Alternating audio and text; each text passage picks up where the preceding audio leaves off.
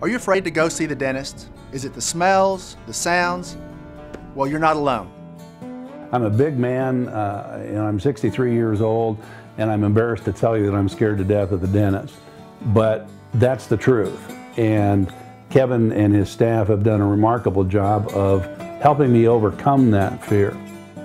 At our office, we offer sedation dentistry. Through oral medication, you can sleep through your appointment and wake up with that beautiful smile you've dreamed of. He did some work, and um, I just slept through it. And um, damnedest thing I ever went through. It was uh, it was incredible. The fear that that some people have is really hard to describe, but it's real. And Kevin Rykard has done a tremendous job of of taking care of me, and I'm very appreciative of that.